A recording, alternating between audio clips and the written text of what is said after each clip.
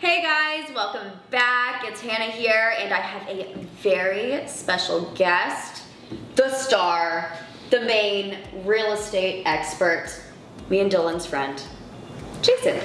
Hey guys. I didn't go to the gym today, but it sounds like you've had a very productive day, and I'm so excited that you made some time for me to ask you some questions.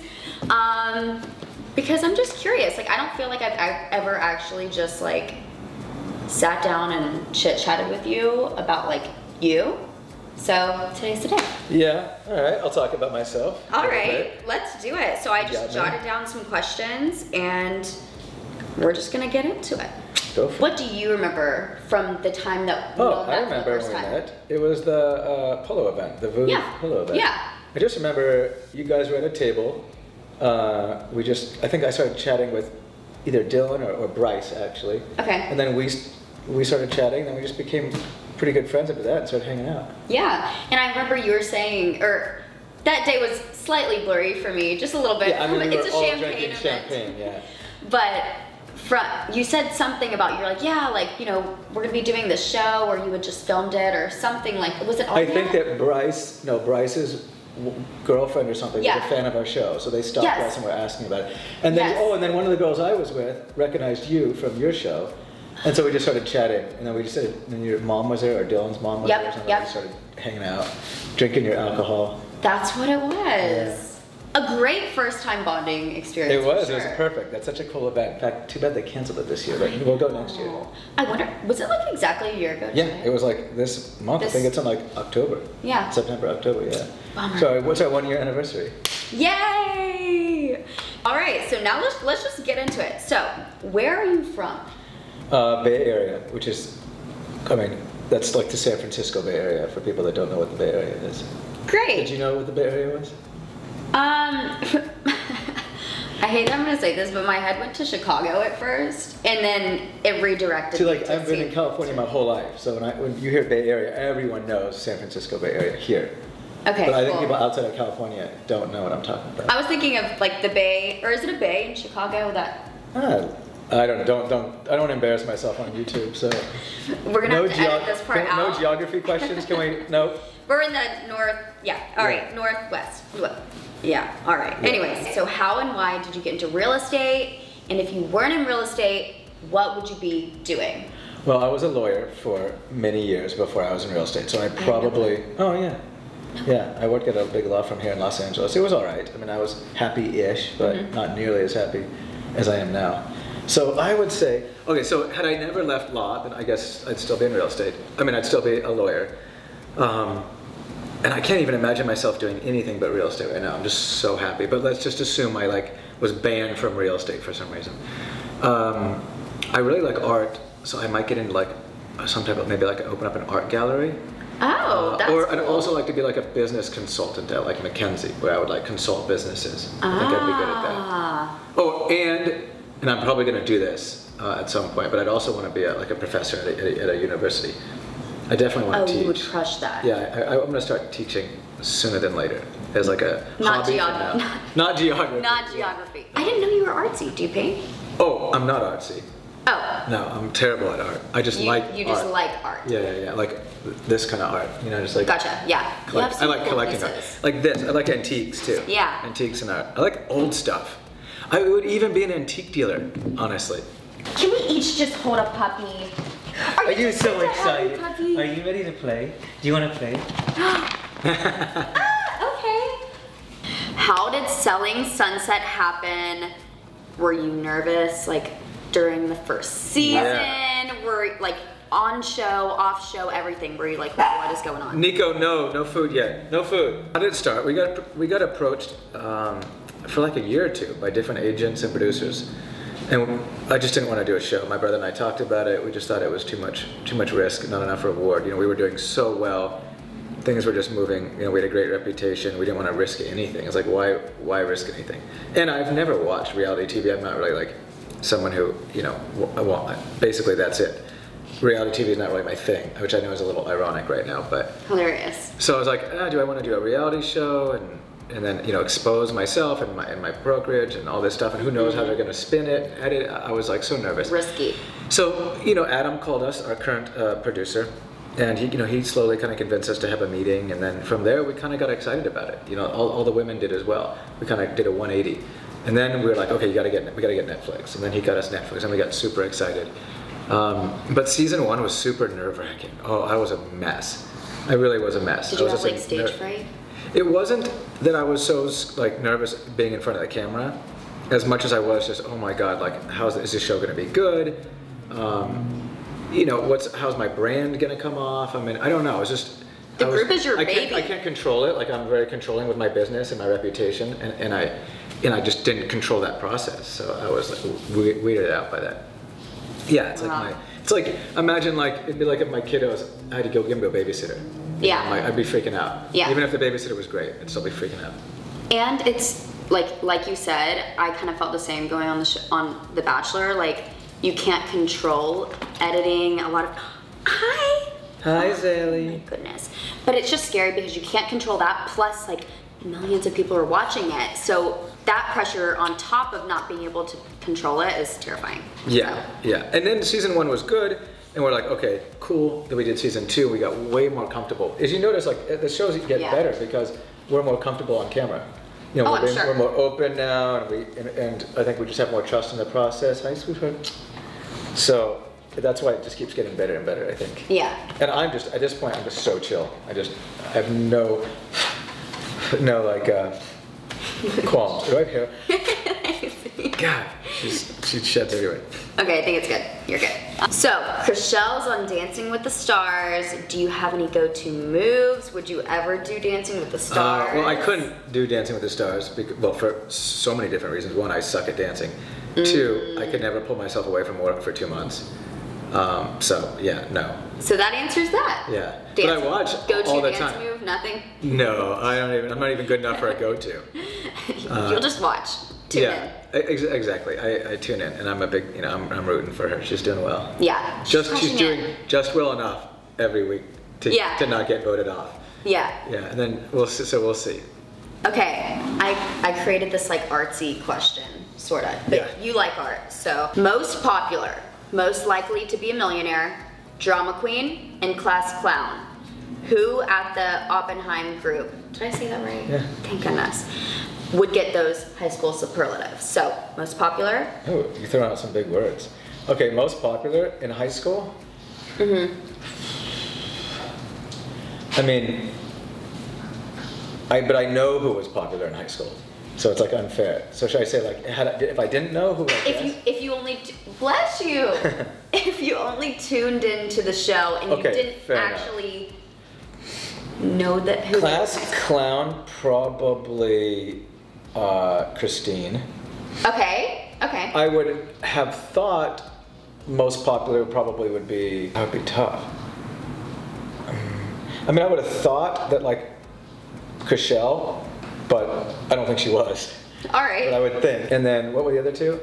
We have drama queen and uh, most likely to be a millionaire. Those are tough. And dra- and drama queen. Mm-hmm. Oh, I would have been easier. Prom queen would be easier. Prom queen. Fine. Done. I would have probably guessed Mary would be prom queen. Absolutely. Drama. Queen. Was queen, she? I would give Christine drama queen and class clown. That was great. What would you have been? Uh, oh, of those, Or Vinny? probably more like class clown. I acted out a lot in high school. Okay. Yeah. No, that would have been more like before high school. I probably would have been. Not prom queen. Yeah. Oh no, I was saying for me. Sorry, Well, you. no, for me You'd too. No, I would have not been prom queen. I would have wanted to be class clown, but there's too many damn people at my school. Yeah. All right. I would. I'll give you prom queen. That was good. I feel like you put a lot of thought into that one. Yeah, I, I take thought into all That questions. was- that was good. So don't ask me things unless you have time. This is this is it. Um, okay. Any funny behind the scenes moment that didn't make it on the show? Moments. I mean, every moment when we're filming it is ninety percent of the off-camera stuff is just we're like laughing and, and joking around. Yeah. So there's a just a ton of it, especially like me, marrying and Amanza. That's pretty much all we do. That's how it, my entire journal. I had like a journal on the show on The Bachelor, Yeah. and every single memory that I put on there, it wasn't even from the show or feelings. It was all like funny behind the scenes memories because we didn't have our phones, so I didn't document it. most of, plus we're all, we're filming so often that like the behind the scenes is on also part of the you know Yeah. on camera too. Um, but we just we just laugh a lot, you know, like Just all the time. Yeah, yeah, we do. We just we don't take it ourselves too seriously. Yeah. Well, in, in life, you don't have all of these like storylines in real life. And so on a show, of course, they have to make it feel more like a story and stuff. But in real life, you're just hanging out. Well, they're time, they're too. editing it down to like those Right. moments, you know, for Yeah. sure. Uh, uh, for us, which is so interesting when you, because it's like it, it's like the equivalent of like imagine if somebody spent like days baking a cook, one cookie, Yeah. and then just someone just goes and goes um. Right. That's what it feels like when we spend like six months doing a couple seasons, and then someone's like, "Oh, I just binge your show," you know, in the first day. I'm Like, that was my "Ah, That was six months worth of work. yeah. Don't watch it in a day. But I also That's love that they binge it. Right. But it's like it would be like if you you know spent like a week baking a cookie. and then they assume they know everybody, too. They assume Yeah, they know come everything. up to us a lot because I feel like I think in reality TV people feel like they know you more. Like Yeah. if I was an Oh, actor, you know, you don't go up to actors in LA. I mean, Right. And they don't. Yeah, you don't see that. But with reality TV, I think they, there's a more of a connection. Absolutely. Because it's you. Yeah. Yeah. Good. Or point. moments of you. Yeah, you're not going to go up to someone and be like, "Oh, I loved you in." Like that's kind of awkward. You don't bond with that person so much. Yeah. Yeah. I, w- I was curious about this. I'm obsessed with twins. I think I told you that like the first time I met you, or maybe the second time, but I have this weird obsession with twins. Like I just like love them. Anyways, what's a uh, crazy time that you and Brett have switched places, possibly, or do you ever run into moments where people think that you're him and you just answer like it's him? Oh, all the time. Yeah. But I'm always answering to Brett. I mean, pretty much. I don't want because we have like a pact. Like basically, we don't want people to think that we're rude. Mm-hmm. So if I don't answer to Brett, then they're gonna think that I'm rude, and vice versa. So the, the rule is to just be like, "Hey," or "What's up?" If someone is, you know, Right. talking to you like the other one. Um, you know, you don't carry on and pretend you're the other person, but you don't want Right. whatever. It's like a social usually, thing. usually someone's waving. I'm gonna wave back. I don't want them to think that you know, because Yeah. they're like, you didn't wave back. Um, Or is there a moment where else? somebody confused you guys or something? I, I mean, I've confused us. So uh, I, I was in a department store and I looked in a mirror and I went like this to get Brett to come over because I was trying to unclose. And he, no, it was me in a mirror. no. And I thought it was Brett. No. Yeah. So it That's gets, no, but it gets worse because I'm going like this. Come here. Yeah. And then he, of course. Uh, it's a mirror, so he's going like this, and I'm like, no, no, no, you come over here, like to myself.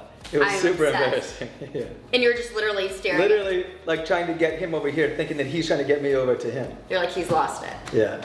That's good. So it was. That's good. That was probably the funnier, the funniest moment I've had of confusing myself for Brett.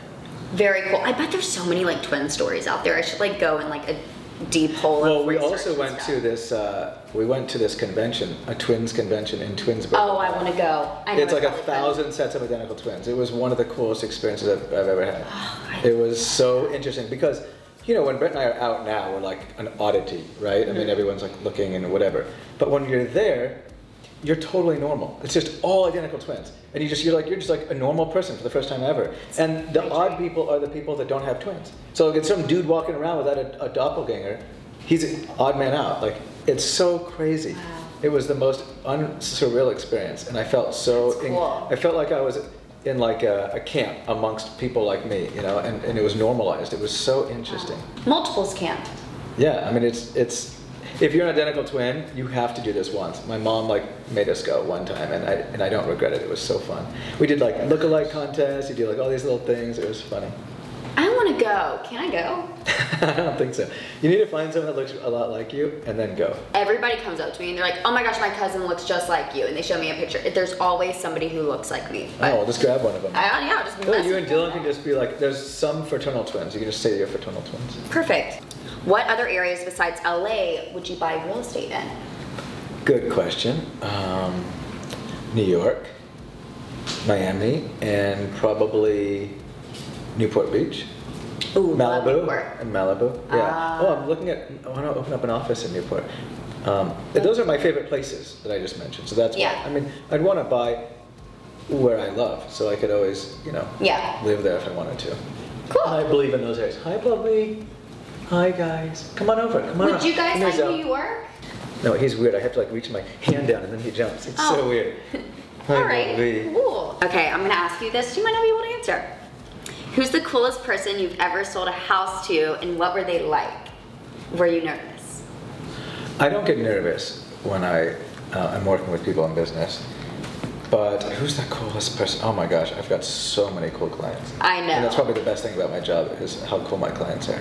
If you don't want to name drop, you could give a Yeah, hint, or you can um, do. I don't know. Uh, yeah, all I would be doing is name dropping. Mm-hmm. But I, up to you. but I just have a ton of clients that I really think are just cool. I'm showing. Chloe Moretz around. I think she's a really cool girl. Oh, cool. Okay. Yeah. Nice. I mean, you live. You you're here in LA. Like, that's where it's based. Like, you know.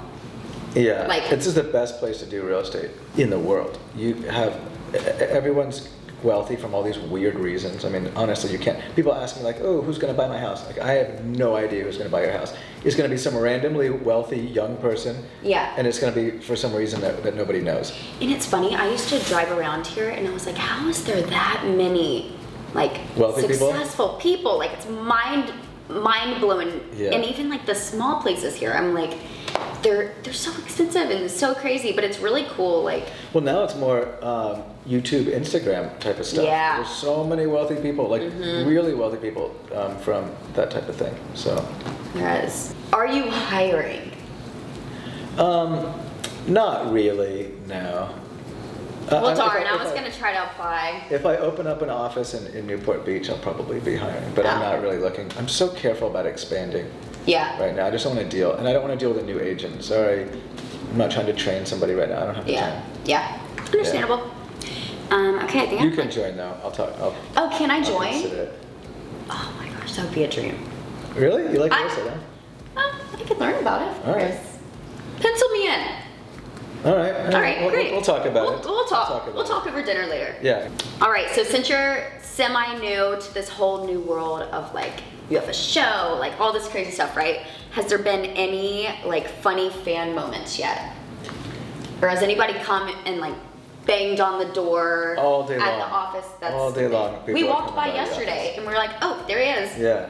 No, people. I mean, I, I go out and take photos every day. Uh, sometimes the tour buses stop by. Oh, really? But it's pretty constant. Um, Yeah. yeah. it's actually everywhere I go now. But it's it's nice. It's positive. You know, I make people happy. It's fun. I don't mind it. Yeah. Yeah, I thought I would because I'm kind of like, I don't, I, I'm kind of private in that sense. But Mm-hmm. for some reason, I just I'm like cool. Like I feel like you- they're all happy and smiling, and, and you know they want my even last night my uh, Postmates guy, Mm-hmm. he was like you know geeking out. So I went out there and took a photo with him. I did like a video for his girlfriend and stuff. I mean, it's like it's always you know it you just feel like you're making people happy. Yeah. I agree. I feel the exact same, and I think it's kind of it kind of bothers me sometimes when people who go on reality TV or TV whatever or come to random new fame or whatever, and they're like, ah, no pictures, and I'm like, you signed up for this. no, you. like you need to It's not only that you signed up for it. Like you have a responsibility almost. I mean, like Yeah, it's like a you, you have the power to make people happy. If you don't Yeah. do that, you're a dick. absolutely, absolutely. All right, we're on the same page. Yeah, I love that. Okay. How'd I do? Did I get like a B plus, A minus? I was just gonna say, I just went through all of those questions, and I think you just got an A plus. Oh wow. like you came in from working out and I was like, maybe it's just gonna wanna like, you know, you snap through it, whatever. You crushed that. Thank you so right. much. Thank you so much Share for that, bub? that. A plus, Bubby. Yay! And the kiddos plus. did great. We got A pluses. Yay! You got an A plus. Okay, so thank you guys so much for watching and thank you so much for joining today. Make sure to check out Jason's social medias and everything like that. I'll link it all below and make sure to subscribe while you're here. And yeah, thanks for watching. Bye, Bye, guys. guys.